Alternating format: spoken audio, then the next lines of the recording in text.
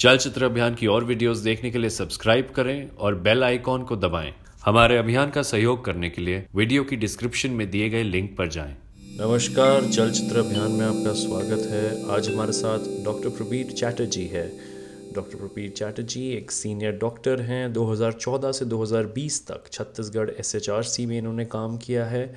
और इसी के साथ साथ मिटन हेल्थ वर्कर्स को भी इन्होंने कई साल ट्रेन किया। डॉक्टर प्रबीर से आज हम फ़ोन पर चर्चा करेंगे और समझने की कोशिश करेंगे कि ये जो कोरोना महामारी फैली है पूरे मुल्क में पूरी दुनिया में आ, उसको लेकर हमारी सरकार का क्या रवैया रहा है और आगे आने वाले सालों के लिए किन चीज़ों को ध्यान में रखने की ज़रूरत है। डॉक्टर प्रबीर मेरा आपसे पहला सवाल ये है कि हमारे मुल्क का जो स्वास्थ्य विभाग है उसका सत्तर प्रतिशत हिस्सा निजी हाथों में है। क्या आपको लगता है कि स्पेन की तरह आज के दौर में हमारी सरकार को निजी अस्पतालों को टेक ओवर करने की ज़रूरत है आ, सरकारी स्वास्थ्य विभाग और मज़बूत करने की ज़रूरत है इस महामारी से लड़ने के लिए? ज़रूरी से है जो सरकारी बंदोबस्त जो है वो वाला बनाने पड़ेगा। आदि लगातार बनाने पड़ेगा। सिर्फ़ अभी के लिए नहीं है। जितने आपका ज़रूरत है स्वास्थ्य का, वो वाला पूरा सरकार के ओर से होना चाहिए। तो सरकार को तब कुछ अस्पताल लेने पड़ेगा, प्राइवेट अस्पताल ले लेने पड़ेगा सरकार को अभी कोरोना के समय। कुछ क्लिनिक लेने पड़ेगा, एवं ज़्यादा डॉक्टर, नर्स और बाकी स्वास्थ्य कर्मचारी को लेने पड़ेगा। तो अभी अगर 30 प्रतिशत सरकार देख रहे, इससे ज़्यादा सरकार का जिम्मा लेना है। हम लोग के एक सामाजिक स्वास्थ्य का प्रक्रिया बहुत ज़रूरी है। जो सब लोग का के लिए काम करते हैं, तुरंत हम लोग के ज़रूरी है। बाद में भी भविष्य में भी ज़रूरी है। किसी को हम लोग कम ध्यान नहीं दे सकते, क्योंकि वो कोई रजिस्टर या लिस्ट में नहीं है।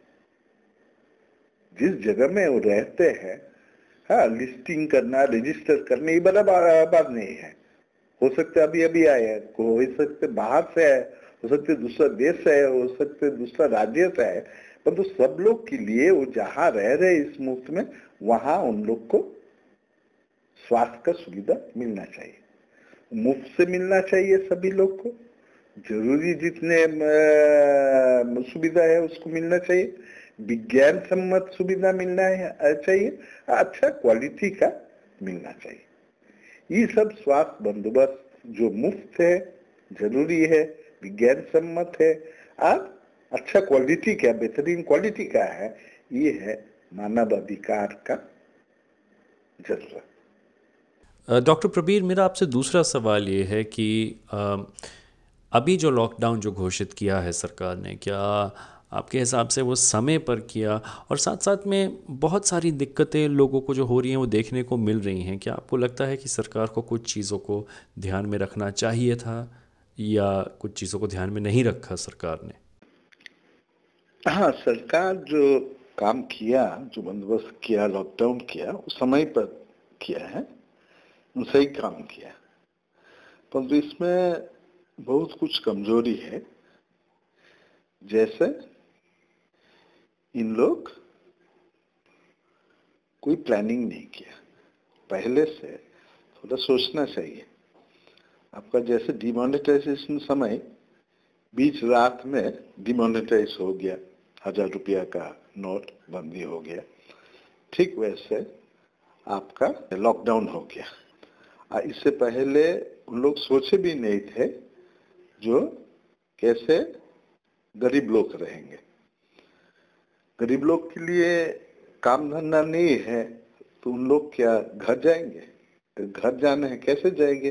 अगर अवकाश नहीं है, आपका लॉकडाउन आया तो जनता कर्फ्यू के बीच में कोई अवकाश नहीं होते। तो आप घर कैसे जाएँगे? और अगर जाएँगे भी, चार घंटे के अंदर आप ट्रेन में उठेंगे या बस में उठेंगे तो बहुत भीड़ नहीं होगा। अब भीड़ होना तो ठीक नहीं है। अभी बहुत लोग रह गया। जिन लोग रह गया, उन लोग के लिए पानी का बंदोबस्त था क्या? हर मोहल्ला में, हर बस्ती में एक टैप ही रहते, एक नल रहते। अब बहुत लोग लाइन करके पानी लेते हैं रोज सुबह। अगर पानी घर पर पहुँचाने के बंदोबस्त होता था तो वो ठीक होता था। और एक मुश्किल कभी कभी 100 घर के लिए 200 घर के लिए एक बाथरूम ही रहते झुग्गी झोपड़ी में तो उसके लिए भी लाइन देने पड़ते हैं। अगर इसका कोई बंदोबस्त ना हो, अगर ज़्यादा आपका बाथरूम, लैट्रिन का बंदोबस्त ना हो, या जो बंदोबस्त है, जो लैट्रिन है, उसमें समय पर माने दस आदमी आए, लाइन करे बाथरूम जाए, उसके बाद दस आदमी, एक घंटा बाद। तभी हो सकते, नहीं तो बड़ा लाइन हो जाएगा आपका कोरोना फैलने का बहुत मौका मिल जाएगा। मुझे लगता है जी वाला सोचना सरकार का कभी नहीं हुआ। आपको उन लोग को रहने की जगह होना चाहिए, खाने का बंदोबस्त होना चाहिए, आपका पानी का बंदोबस्त होना चाहिए बाथरूम का बंदोबस्त होना चाहिए। उसके बाद ही आप कुछ कर सकते हैं लॉकडाउन टाइप का। सर मेरा आपसे आखिरी सवाल यह है कि केरला मॉडल की कई जगह बहुत तारीफ़ हो रही है कि केरला ने इस महामारी को कैसे संभाला केरला की सरकार का किस तरह का रिस्पॉन्स रहा इसके बारे में आपका क्या कहना है? केरल असल में बहुत अच्छा काम किया बहुत ही अच्छा काम किया। सबसे इम्पोर्टेंट सामाजिक तौर पर समाज को इकट्ठा रखा। आज समाज के लिए जो ज़रूरी है, उसका बंदोबस्त उन लोग किया। दूसरे है, जो आर्थिक जो बंदोबस्त ज़रूरी था, उन लोग वो वाला भी किए इसलिए समाज और आर्थिक व्यवस्था जब ठीक रहते, उन लोग, जितने लोग जाना आना किया बाहर से, उन लोग को ट्रेस कर पाया, उन लोग का संधान कर पाया, और उन लोग को क्वारंटाइन कर पाया। इसलिए केरल का काम बहुत बेहतरीन है। उत्तर प्रदेश में आप देखिए, जो गरीब के लिए बहुत मन मुसीबत हो रहे एवं जो मुसफिर लोग हैं, जो बाहर गए थे काम करने के लिए दिल्ली या मुंबई या वापस आ रहे उन लोग के लिए बहुत दिक्कत हो रहा है। चलचित्र अभियान के साथ जुड़ने के लिए आपका बहुत बहुत शुक्रिया, डॉक्टर प्रबीर।